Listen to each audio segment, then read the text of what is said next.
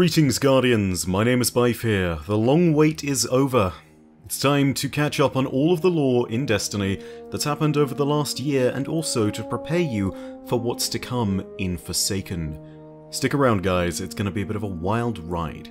First of all, if you haven't seen any of my other stuff, you should probably go see my full recap of Destiny video before you see this, because it's going to give you a lot of foundational knowledge. Some of the stuff I'm going to repeat here, but as a shorter version of that video, I'm basically only going to be going over lore and recapping the stuff that is essential to know for Forsaken so that you guys can catch up. I'll also be covering the stuff that you guys missed in year 1 of Destiny 2, so don't worry, you'll know exactly what you missed. That's all good. Also, do note that whilst I put time and effort into all of the content that I do, these longer videos take even more time than usual, so any support you can give me would be greatly appreciated. Finally, do note that the topics in this video will contain only spoilers for what's been shown in the official cinematic previews for Forsaken. I will not be covering data mining or any leaks that have been revealed around Forsaken, so if you're going to go in relatively spoiler free, know that I'll be showing nothing that hasn't already been seen. If you're trying to go in Forsaken completely blind, now is the time to turn off the video. Also, for those of you who really want to support, stick around till the very end, and I have a few messages that I want to say. But with all that said, let's jump into the story you need to know for Destiny 2 Forsaken. This tale of two dynasties, this story of monarchs clashing and souls bound to the laws of the universe, started long ago, before the evolution of humanity, on a world called Fundament. It was here that a race of people known as the Krill would eke out a terrible existence on the great waves that always threatened to destroy them. One part of their society was known as the Osmium Court, whose ruler was old and weary. When the long-lived but sterile Krill mother known as Taox assassinated the Osmium king, his three offspring, Xi Ro, Sathona, and Aurash, fled. As they swore to avenge their father, they were set on a path that would lead them deep beneath the waves of Fundament. There, past impossible crushing pressures and the great leviathans that lurked in the shadowy depths, the sisters found the worm gods Yul, Xol, Ur, Eir, and Akka. The worm god Yul, the honest worm, approached the siblings and offered them untold power and even immortality, an incredible boon for a species as short-lived as the Krill, who lived only ten years. But with these great powers came a single request in return to be true to their natures, to obey themselves. The siblings accepted and were transformed into Xivu Arath, Savathun, and Auryx. From this moment on, they led a bloody crusade of conquest across the stars, leading their species to glory and grandeur in the name of their newly discovered sword logic the rule that the universe was a place that demanded strength as a prerequisite for existence and continued survival. From this moment onwards, they would be known not as the Krill, but as the Hive, and so they swept across the universe, hunting for the Traveller wherever it went. The Traveller had previously been above their world of Fundament, had been harbouring a species on one of the moons, and when the Hive hunted them to extinction, the great chase began. And so, life was exterminated wherever the traveller went, for wherever it manifested, the Hive would soon follow. When they came across the Ecumene and saw in them a match, Auryx went to Akka the Worm of Secrets and slew him, taking from him the knowledge to commune with the darkness itself. With his first communion, Words spoken are not recorded, but Auryx became the entity known as Oryx, the Taken King, and he returned with newly acquired powers, including the power to take. He dominated the forces of the Ecumene, and just like all those they had faced before, they were made extinct. As they pursued the traveller across space, eventually Savathun and Xivu Arath departed from Oryx to become more different from him.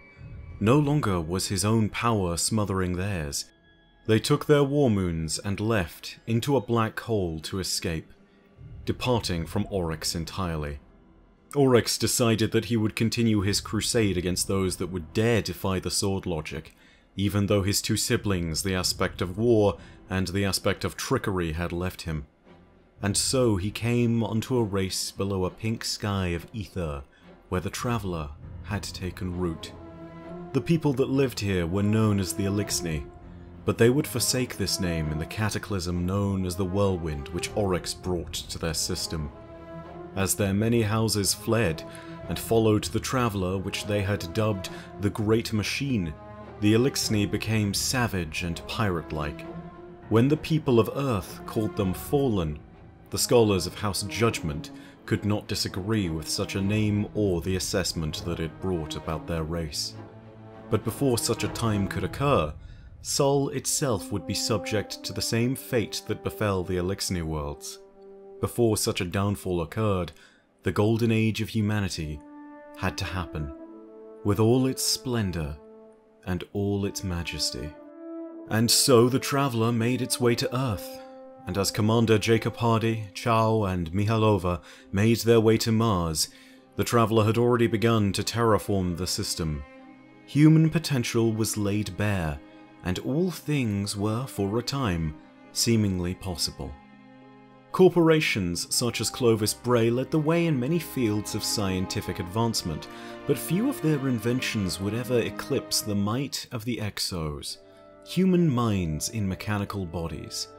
Clovis Bray would, however, need to find subjects for this program, and they were not above looking at every possible avenue, be it virtuous or morally dubious. One such volunteer would leave his wife and child to erase his debts on the condition of becoming an exo and working for the corporation. We would come to know this man as Cayde 6, and before the end he would see all that which befell humanity. He would record these events as they flickered before him in shattered parts of his own memory.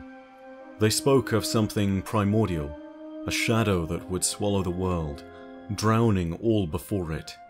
The only thing not torn into nothingness was Cayde's senses. The darkness wanted him to witness its power over the world it had just claimed. And just like that, suddenly, all the world collapsed. The other great marvel of Clovis Bray, the Warmind, detected a sky shock alert. Rasputin used all the resources at his disposal to destroy whatever he could, but his power, much as it could shake the very foundations of heaven, was found wanting. The power of the darkness exceeded that of any mortal means. The power of the darkness was fueled by paracausality, the ability to shape the universe with powers not found in the physical domain.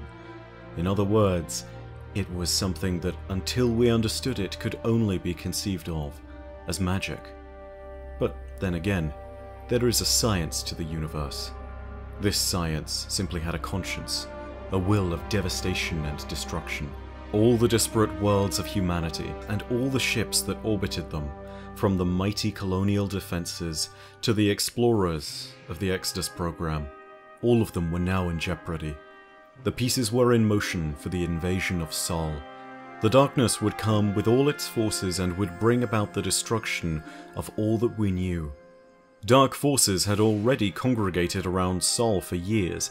The Vex had infected Venus and Mercury as well as several other worlds, and had burrowed deep into these planets, converting them into machines.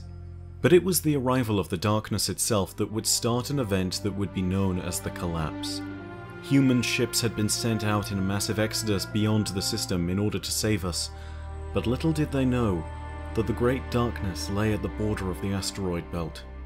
The ships that fell there formed a vile reef among the floating debris, and that reef remains to this day, around Pallas, Ceres, and many of the other great asteroids.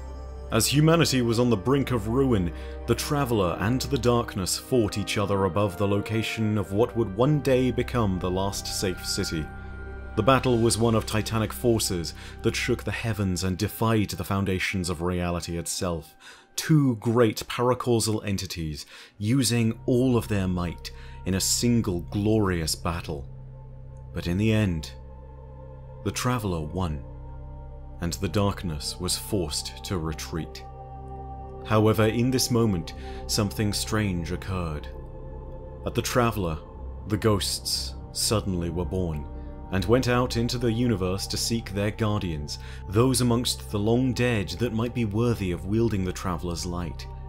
But also at this moment, out in the system, something else was occurring. Near the vile reef of ships, light and dark coalesced and converged, finding themselves in vessels of life. Thus, the people known as the Awoken were born. Beings of both light and darkness, souls split between the great nothingness and the ever-expanding complexity.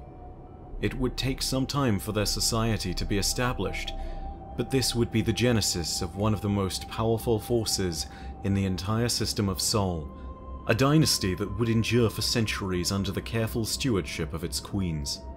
Tucked away in secret from the rest of humanity, they would develop around great asteroids of the belt, from Vesta to Cybele to Ceres to Pallas. This strange new people lived to serve at the foot of a single throne, the throne beneath the howling dark, and its queen, Mara Sov. Awoken society is governed even to this day by knowledge, rituals, faith, magic, secrecy, and absolute devotion to the matriarchy that governs them. The matriarchal leaders of the Awoken kept their domain secret from the rest of the system for years in a bid to keep their people safe from the dangers outside. Whilst the weary remnants of civilization gathered below the Traveller, the Awoken were left apart from their brethren, to become powerful in their own way. Years passed, centuries even, but slowly, mankind began to fight back and rise once more. The city grew, and mighty new defenders rose from the ashes of their civilization. They were known first as the Risen, but as they came to stand as the bulwark against the forces of the darkness, they took on a new name Guardians. They would defend the city and its occupants many a time, raising great walls around the last resting place of the traveller, and many a time the enemy would strike at them, but none were as vicious or numerous as the fallen. They saw in humanity a reason for bitter resentment. The Great Machine had chosen them first. Why did these weak creatures have a right, greater than theirs, to the bounty of the Great Machine's power? And so it was that the city was perpetually besieged. At first it was merely the House of Devils that assaulted the city in small raids, and even when the house met the defenders with their full strength at the Battle of the Six Fronts, not a single one of these fronts broke, and the city held. From this great battle rose two heroes, Osiris and Saint Fourteen. They were appointed to the vanguard by the Speaker, a council governing the city and all its actions, bringing together the factions, the Guardians, and the Speaker's own executive power. Saint Fourteen was like a long lost son to the Speaker, and they even referred to each other as father and son. But Osiris?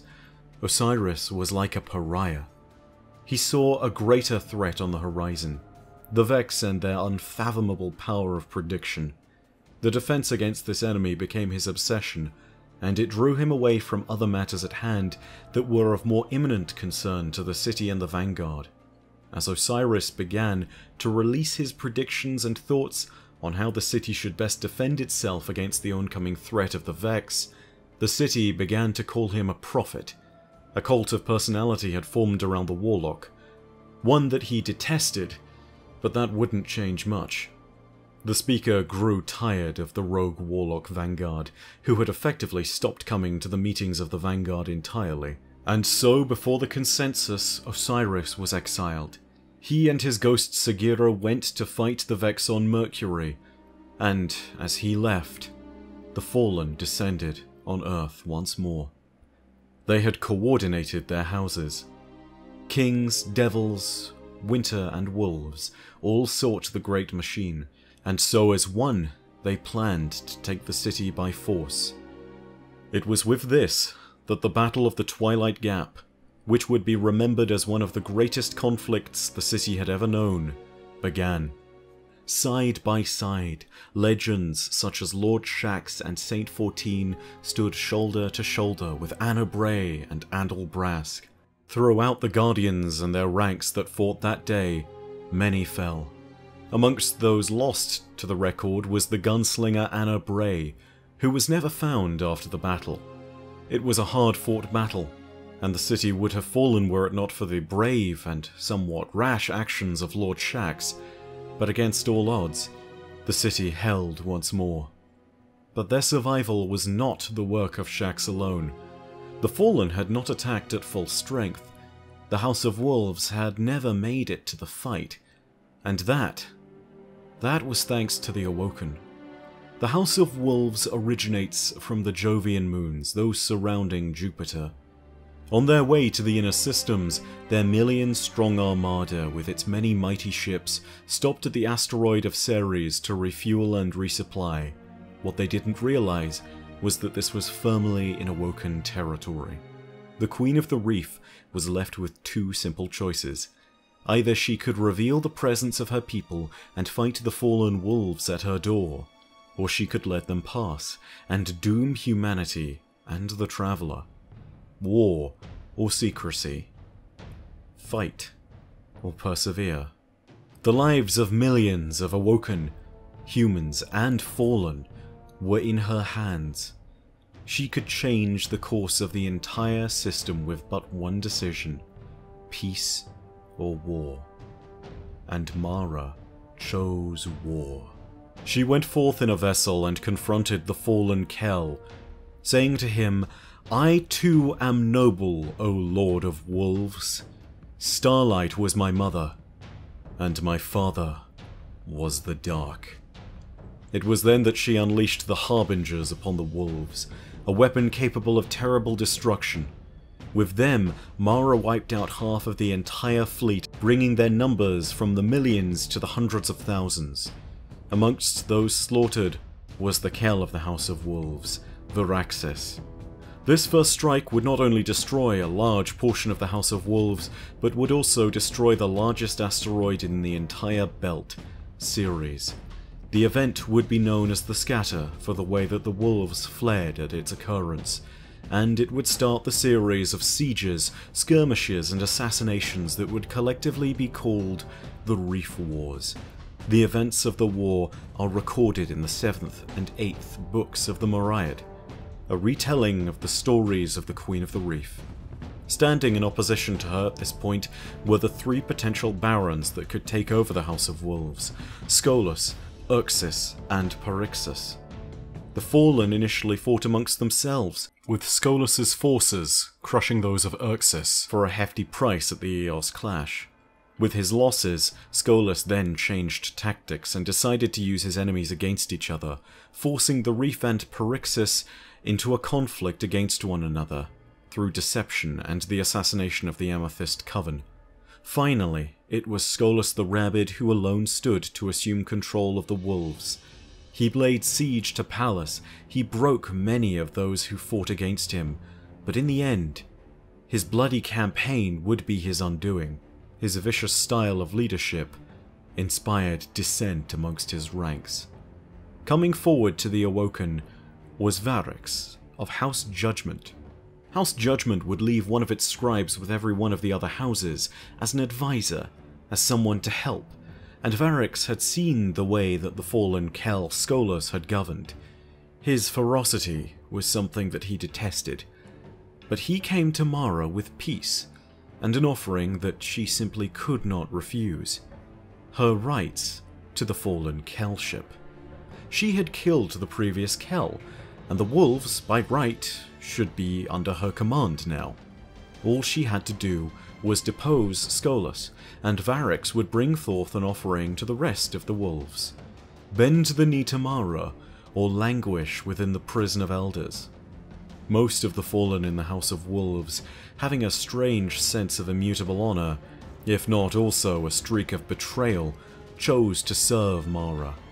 And so, for a time, the wolves were invited into Awoken society. The two lived in peace with one another. But all things must come to an end, and their days of peace were still numbered. Many, many years later, back on Earth, in the Cosmodrome at Baikonur, it was finally time for our Guardian to wake and muster their power. We defeated the darkness at the heart of the Black Garden and secured our position as a Guardian of Legend, going on to successfully assault the Vex stronghold of the Vault of Glass and destroy Crota, the son of the Hive God Oryx, who had invaded the moon long ago and laid waste to the largest and most powerful Guardian army that had ever existed. This was revenge, but this revenge would return to haunt us, and soon powers both within the system and beyond it would take note of our growing majesty. It's now that Petra Venj enters our story. She had been cast out into an extended stay of leave on a post far away from the reef as a means of punishment for her failures during the Reef Wars. But suddenly, she found herself returned to the reef and promoted to Queen's Wrath, the highest honour of the military branch of the Awoken. She was no longer a mere corsair, she was a paladin of the Awoken, and she was in command of the Queen's Royal Guard. It was now that the Mysterious Nine enter the story. They released Skolas, gifting him a ketch. Now, Skolas called the wolves back to his banner to fight against the alien queen that had usurped them and taken their freedom. Many wolves flocked to Skolas's banner, and some of them even made bold attempts on the queen's life and on the lives of the Awoken that served her. But after all these had been made, the Queen still stood, and her wrath would be legendary. She invited the Guardians to hunt down Skolas and his wolves, opening an outpost to them on Vesta and allowing them to earn the bounty of the reef. The hunt was on, and hunt we did. We brought Skolas to justice and returned him to the prison of elders. Before his final trial by combat, where he was struck down by our light, Skolas confessed his fears to Variks and the Queen. He foresaw a dark shadow on the horizon, one that threatened to take the whole system. This, combined with the words of Eris Morn and her warnings about the comings of Crota's father, moved the Queen of the Reef to action. And with Eris Morn, she enacted a plan to defeat the Taken King. It was the best chance they had of survival, but the cost would be great. Some would say too great. In order to defeat the Taken King, Mara would need to sacrifice herself and most of the Awoken fleet in order to destroy Oryx's ships and allow a safer approach for the Guardians. However, in doing so, her and thousands of her Awoken were lost to the weapon of Oryx's dreadnought. The Queen's brother, Uldren Sov, was lost without a trace. Most of the witch coven that the Queen had brought with her were gone. Many of the paladins of the Awoken military were killed in action, and the Queen was nowhere to be found. Petra was left in command of the Awoken forces. The reef was drawn into chaos during what would be known as the Taken War, and without the hand of their monarch, who for so long had guided them through the night, the reef began to fall into lawlessness, and Petra mourned for the queen she had lost. And as she did so, new threats mustered at the edge of her territories Taken, Cabal, and Fallen. But Mara's life was not lost in vain. Whether there was some other purpose to her sacrifice, or whether it truly was as selfless as it appeared, Mara's death, Cayde's handy tricks, and Eris's guidance allowed us to access the Dreadnought. From there we learned that we needed to pass as an Ascendant Hive in order to enter the depths of the Dreadnought, and so we stole the remnants of Crota's soul. Something that could be used in order to access that deep, cavernous darkness within the heart of the ship. And, at this point, we could now assault Oryx himself. And our work would not be done there. When we had killed his physical form, we went onwards, for to kill a hive truly you must destroy them both physically and within their throne realm. And when we had found Oryx, even as he was titanic and empowered by the darkness itself, still, it was not enough. our light triumphed. Our light destroyed the Taken King, who had for millennia upon millennia destroyed and taken and fought in the name of the darkness. This was our greatest foe thus far, and we had vanquished him. It had all gone according to plan. The Queen had succeeded. Oryx the Taken King fell. With Oryx's passing, the system saw the great evil put to rest, but the echoes of this event were far reaching, and would yet invite more doom to Earth. Not only would there be those who would attempt to assume the throne, such as Moloch, but also, with Oryx's passing, there were events that would be concerning to other races. For the Cabal had also involved themselves in this conflict. The Skyburners Legion had attempted to destroy the Dreadnought themselves, trying not only to capture Oryx, but when that failed, also attempting to detonate the core of the ship. And when both plans were laid to waste either by Oryx himself or by Guardian intervention, they found themselves with one shameful option. The Skyburners Legion sent a communication back to the Cabal Empire's capital of Torobatl. They sent their message directly to the office of the Emperor of the Cabal, although there was no Emperor sitting to find such a message. They called for aid in a system that was overrun by the forces of the light and the darkness, and they sent word of this light, for it was the Traveller that would be of interest to the Dominus. It took only two years for them to arrive. The Red Legion, an elite army of Cabal led by their tyrannical commander, Dominus Ghaul, the would-be emperor, who was obsessed with the Traveller, its light, and being chosen as its defender. His early life had put him through torment after torment. He had struggled and fought, and he believed he was destined for this. He saw himself as good, as one who was able to help his empire, as one who had cast out a corrupt evil. But in pursuing his obsession, he would do the unthinkable. As the Red Legion assaulted the city en masse, thousands were lost in the opening minutes of the surprise attack. But he knew that in order to take the city and the Traveller, he would need to cut off that which he craved the most. Ghaul caged the Traveller, containing its light and rendering the Guardians mortal and stripped of their power. The conflict that Ghaul had begun would be known by its survivors as the Red War, for several weeks, it was almost certain that the Cabal were victorious, and that all they needed to do was stomp out the last signs of resistance. And it could not be challenged that they were indeed, for the most part, victorious. It seemed like they had won. But in times of utter darkness, one spark stands brighter than anything else and casts away even the strongest of shadows.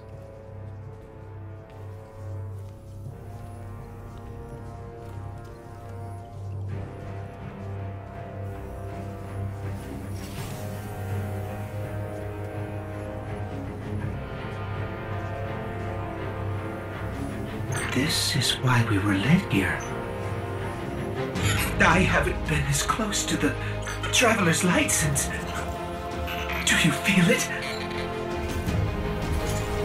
Hold on to your helmet.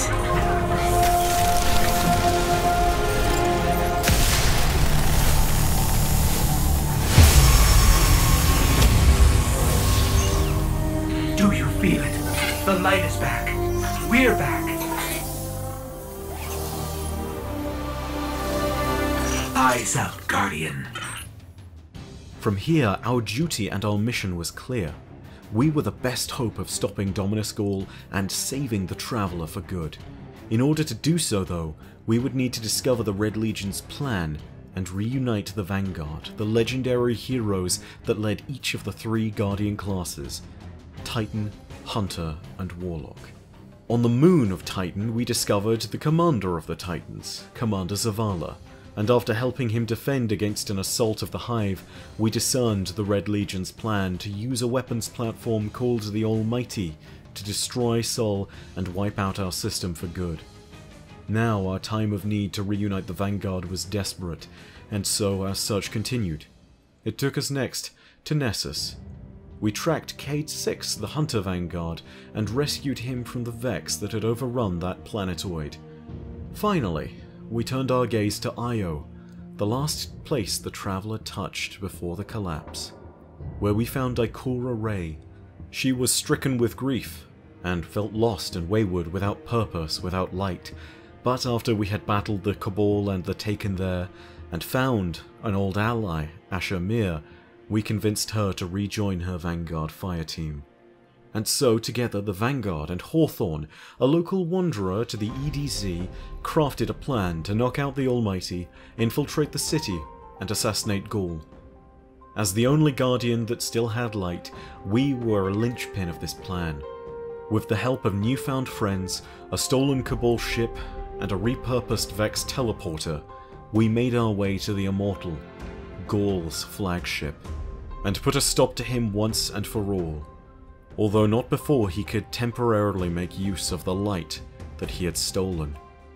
He was able to manifest as this light, a titanic form, and even when we seemed defeated, even when our salvation seemed impossible, our saviour, the Traveller, awakened once more. The Traveller's power over Ghaul was absolute. He was destroyed utterly, and the city was liberated. With this, the Traveller was once again truly awakened, and its newly returned light spread out across the universe, giving the shadows of the darkness pause wherever it touched. The aftermath of the Red War brought the Guardians closer to an understanding that anyone who fought for the people of Earth was a worthy ally. But this lesson came with a terrible cost. The Speaker, the one who had guided the Guardians for so long, died at the hands of the Consul, to Dominus Ghaul, just after he revealed that the Traveller did not in fact speak to him. The Vanguard and the Consensus were forced to accept that the previous restrictive doctrine of the Speaker was perhaps not the best way to lead the city into the future. They would need allies. They would need to reach beyond their walls, and they would need to accept that the city should not and could not stand alone. And the next challenge lay on the horizon, one that would come from Mercury. An old ally whose presence was long thought gone from the system appeared once more. Members of Ikora's spies, the Hidden, found Sagira, the ghost of Osiris, in the sands of Mercury, outside a giant Vex gate that had sprung to life. And so, our search for the legendary warlock Osiris began. It would turn out that Osiris had been in the Infinite Forest since his exile. The Infinite Forest was a giant Vex simulation engine, one that would allow them to predict the future and thus find an outcome by which they could rule the universe. This was now the future that they were trending towards, one where neither light nor darkness existed, one where only the Vex remained. The root cause of this was Panoptes, a Vex mind that had been the root of the forest back in the golden age of Mercury. After venturing through time and to the heart of the forest itself, we found Panoptes and destroyed it, vanquishing the efforts of the Vex to decide the future of all that would exist. Osiris, as thanks, offered us his aid should we ever need it, but in turn, he knew that he could not possibly leave the forest for too long. The risk of the Vex regaining control was too great, and it would be forever the curse that he bore, the curse of Osiris. His duty to watch over the infinite forest and ensure that the Vex would never threaten humanity again. Following this, our journey was not over. The echoes of Twilight Gap, of Fundament, and of the collapse were all about to be put in motion. As it would happen, Anna Bray's disappearance at Twilight Gap did not mean her death. It was instead simply an opportunity that she took to slip away from the authority of the Vanguard and to begin her search for the Warmind Rasputin. She was a member of the Bray family, Rasputin's initial creators, and it was her belief that the War Mind, once fully reactivated, once found, could well be the key to saving the Sol system. However, her search on Mars would be quickly interrupted by the awakening of an ancient enemy. Rasputin had been attacked. Long ago, a worm god had been threatened by one of its own. Yul the Honest Worm threatened to devour Xol, the Will of Thousands, who was both smaller and weaker than he was. Then, in turn, Xol made a pact, one that was brought to him by Nokris, the second son of Oryx, who after this pact was agreed to, was excommunicated. All memory of this second son was smashed, save for a single statue on the dreadnought. And with this, Xol asked of his new high priest, What shall we do? And Nokris said, We take Mars. And so they descended on the Warmind, but Rasputin had a plan. He imprisoned them beneath ice, and Flash froze the area of Mars known as the Hellas Basin. This kept the Hive and their worm god contained for some time, but with the light that the Traveler had released upon its reawakening flowing out across the universe, the Hive began to wake once more. The Warmind, Rasputin, Anna Bray, the Gunslinger, and our Guardian would be facing up against Nokris and Xol. The first to destroy the other would be the victors and would claim Mars, and possibly the rest of the system. It took all our combined might, but eventually, we destroyed the Worm God and his High Priest, concluding that together we could defeat even the most powerful of foes, a god more ancient than time itself, one that could have brought entire worlds to heel, was destroyed by the power of our light and the Valkyrie forged by Rasputin. With the threat concluded, the Warmind proclaimed his purpose to be free and independent of control by the Vanguard that had so long sought to use him. He would be a defender of humanity once more. No longer would he abandon them to their fate as he had during the collapse, but he would act as an independent defender, coordinating only with Anna Bray, the voice of Rasputin, the last link to the Bray family legacy of the Golden Age. And as a new series of warsats was sent into the sky, it was clear that Rasputin now fought for humanity once more. Stronger, brighter, and now no longer alone. Whilst our adventures had been ongoing, there was still turmoil throughout Sol. The Red Legion had been running amok, of course, but there was also the struggles that continued yet again within the reef. Petra had been struggling with her new role as regent. The reef itself was a vast territory, and almost instantly after the Queen's demise, cracks started to form.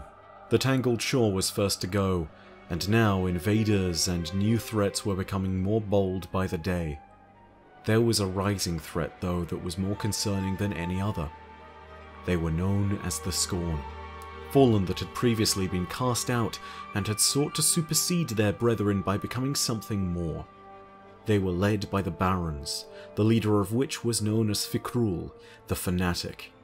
He deemed that the Fallen who had survived the whirlwind would need to be reborn in the destruction of that whirlwind to become something greater. He believed that his fallen race should have died, and that their ability to chase the great machine was wasted. And he was cast out for these views, but so many more flocked to his word and his banner. The barons of the Scorn were a great scourge on the awoken houses, and as they destroyed even the remnants of the House of Wolves, they brought further chaos to the reef, killing yet hundreds more awoken in both civilian and military roles. They were uncaring, ruthless, aggressive, and utterly devastating. Petra might have been helpless, but she had a weapon greater than any fallen, greater even than Fikrul's words. Greater than the machinist, the mad bomber, the rider, the hangman, the rifleman, the trickster, or the mindbender. She had allies. She called upon an old friend from the tower, the roguish commander of the hunters, the vanguard's joker, the fabled gunslinger, the ace of spades himself. she called upon Cayde 6. Together, both Petra and Cayde would be able to contain the threat of the Scorn in a final battle that was triumphant and legendary. They left only Fikrul free, and only because he escaped. The rest were sent to languish in the prison of elders if they had not died. And it was believed that there they would stay. But fate is a fickle mistress, and when one shadow is banished, another comes to take its place. And here we get to a rather interesting moment in our story. For as victory seemed so close, defeat descended upon us and our old friends. An unfriendly face came to visit them, one that rose from ashes and shadow, and one that asked a simple question Do you know which side you're on?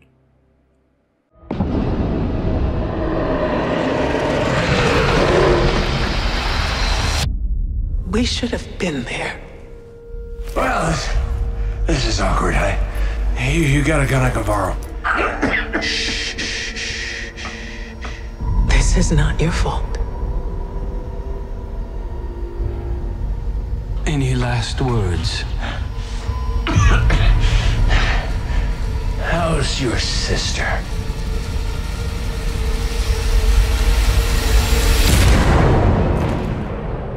For our fire team. For Cayde.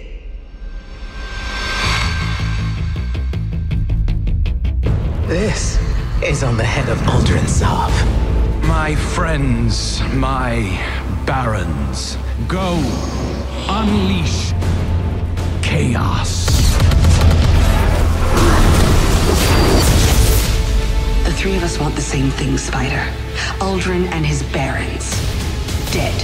I cannot wait to see how this ends. We are not an army. We are not conquerors. We need to keep our eyes on our home, our people. This is Cayde we're talking about. For us to do nothing is Say it. cowardice. I refuse to bury any more friends. You won't have to. Uldren Sov is mine.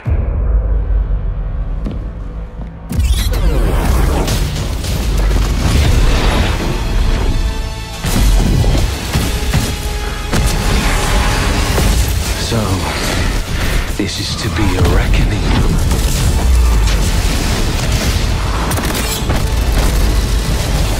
I know where Uldren is. Baron scheme. You have no idea what he's done. The line between light and dark is so very thin. Do you know which side you're on? We will take the reef by storm. All of us, every titan, every warlock, every hunter.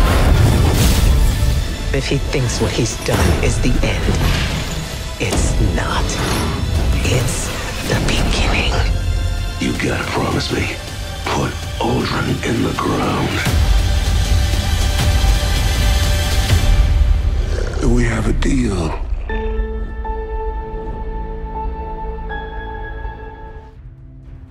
And thus, we have told the story that you need to know to get caught up on Forsaken.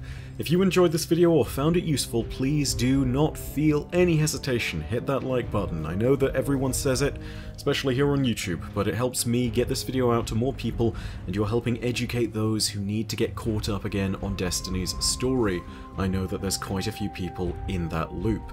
More importantly than that, if you want more Destiny content, you can hit the subscribe button and you can hit the bell next to subscribe to turn on email notifications. I'll see what I can do about answering some questions, but it's also very close to Forsaken, so I don't want to overwhelm too many of you, and also keep in mind that if you are looking to spoil, your comments will be deleted. I am going to keep a tight watch on those at very least. Finally, for those of you who are super dedicated, this is something that you can do to support the channel that would be above and beyond. I just hit 600,000 subscribers, and there is more commonly a meme on the channel which is simply for people to ask, so what's the lore behind this? Whatever this is could be anything, it could quite literally be whatever you think of. So I decided, why not put it on a t-shirt? Yeah, you can buy those, those are partly a celebration for 600,000. This was a design that I sent to Meki really quickly, and it's nice and simple, but I want to thank him for his work, so he's getting a cut of the pay as well. More importantly than that, though, I do want to go ahead and also let you guys know that if you want to buy that, that's going to be on Teespring. It's only going to be available for about two weeks, so get it in there while you still can. It's not going to be around for long. And also keep in mind one other quick little thing. I have other t-shirts and other designs that will be coming up soon. There's a group we've been trying to get ready and work with for quite some time, and we are almost ready to get all of that out there. And if you are a fan of the That Sounds Like a You Problem series, I think you'll particularly enjoy these. But of course, know that all of this is quite unnecessary. I want to thank you all for the dedication and support that you give me on a regular basis. I want to thank each and every single one of you, every single one of the 600,000 of you that has enjoyed the content on this channel and has found it to be, at very least, educational. But yet again, know that your viewership, as always, is quite enough for me. And in the meantime, my name has been My Name is Byf. Per Arastra. I'll see you, Starside.